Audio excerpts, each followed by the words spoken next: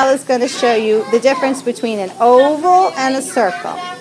An o circle and now an oval. Which one is taller? I'm the oval. Very good. Which one is shorter?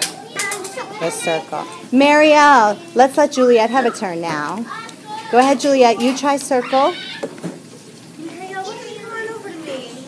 Circle? Please hold this. Sure. She does it. Take it away. Sure. Okay. Circle. Good. Now oval. Gotta make a long, big one. Wow, Juliet, That looks like fantastic. a, that looks like a D to me. It does look a little bit like a D. You can smush it away and make a new one if you want. Good. Or you can use the sand down at the other end. Good, Juliet. Excellent. How many dots are in a square?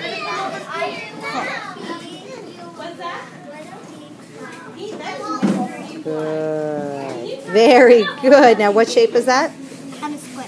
Now, how many dots will our triangle have? Three. Right. Do you want to do the dots or do you want me to do the dots? Me? You can do it. One, two. Good. Now connect those dots. Very good, Juliet. We're gonna- Yeah, we're going to use straight lines. Watch. We're gonna use straight lines. One, two, three. Look at the teeny tiny triangle. Let's make a big one. Mrs. Kraft will do the dot. Oh, good, Juliet. Good. Now, do that bottom line, Juliet. Connect those last two. Fantastic. Sullivan, can you make a big giant triangle for us? Juliet, watch Sullivan. She's going to do three lines. Let's count while she does them.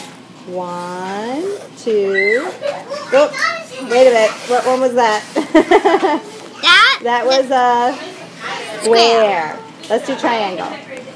One, two, three. Perfect! Girls, shapes are so much fun.